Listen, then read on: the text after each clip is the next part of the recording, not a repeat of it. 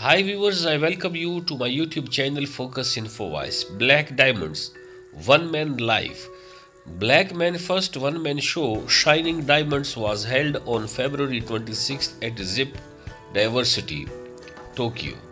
They put on a brave performance that could not be outdone by the size of the venue.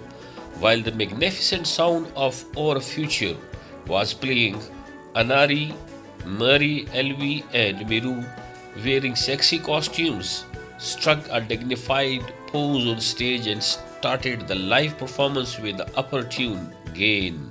Gain was the number that marked the beginning of five-week continuous releases project held from January to February.